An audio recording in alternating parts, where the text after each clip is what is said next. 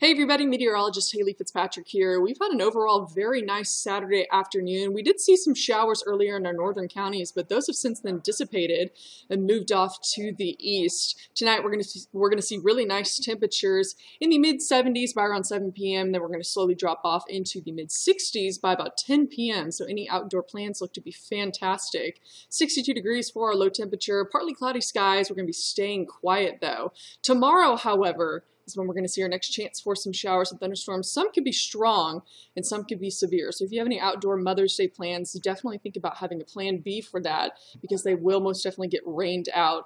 Uh, the main threats for these look to be gusty winds and some small hail. Uh, and the tornado threat is low, but it cannot be ruled out. So we're going to be eyeing those closely. From Columbus, Ackerman, Kosciusko, north and west of that, a level two risk for severe weather. Everything south of that is under a level one risk for severe weather. So these storms are going to come in ahead of an approaching cold front. Here's this low pressure system we're watching move through the area. This will bring some heavy showers, uh, some damaging winds as well, and some small hail up to quarter size hail. Around 8 p.m. is when we could see the heaviest of rain move through.